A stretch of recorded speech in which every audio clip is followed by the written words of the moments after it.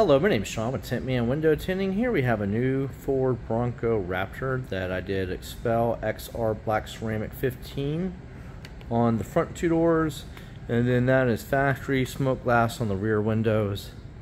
When it comes to matching the rear windows, the Xpel XR Black Ceramic is by far the best match and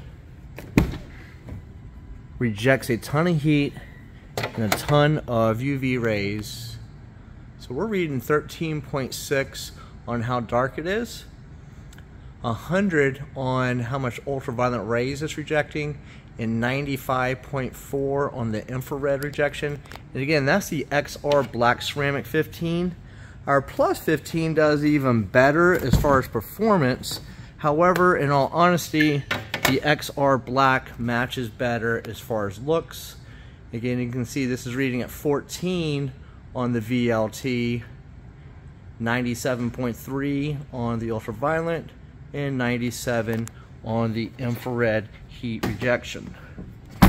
This film comes with lifetime nationwide and transferable warranty against fading, bubbling, turning purple, all of that bad stuff. I'll take it around the other side so you can see what it looks like from the inside looking out compared to the two. You'll notice we do everything in a closed climate control bay. We computer cut our patterns unless it's best to hand cut. We do have the ability to do both. Again, that is the Xpel XR Black 15. Look at the clarity of this film. Just a beautiful ceramic window film. We also do residential and commercial window tinting we have four Central Florida locations. And again, this is our Winter Garden location. You can learn more at tintmanfl.com.